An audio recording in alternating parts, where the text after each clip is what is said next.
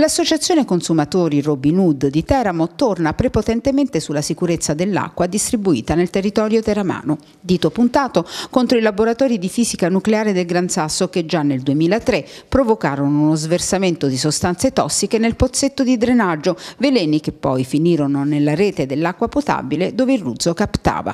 Nonostante la messa in sicurezza di allora, il fenomeno si è ripetuto dopo 13 anni e questo crea preoccupazione e fa porre qualche domanda. La questa associazione non è tanto sicura, non è più sicura dell'acqua che si beve a Teramo per lo sversamento. È una storia che comincia un po' da lontano, dal 2003.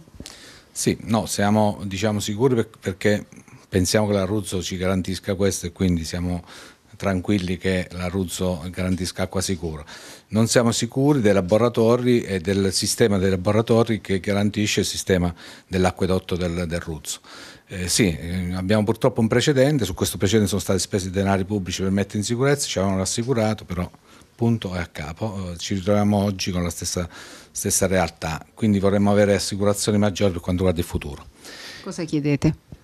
Quindi in buona sostanza noi chiediamo intanto che l'Istituto Nazionale di Fisica Nucleare si faccia carico degli eventuali costi superiori per quanto riguarda gli utenti e soprattutto ehm, diciamo, diventi un po' più trasparente per quanto riguarda la messa in sicurezza e a tal proposito noi chiederemo alla magistratura di indagare. La Ruzzo ha infatti spiegato che il proprio sistema di controllo bloccò immediatamente a settembre scorso l'immissione dell'acqua contaminata nel circuito dell'acquedotto e che dopo quell'episodio nessun problema è stato successivamente riscontrato.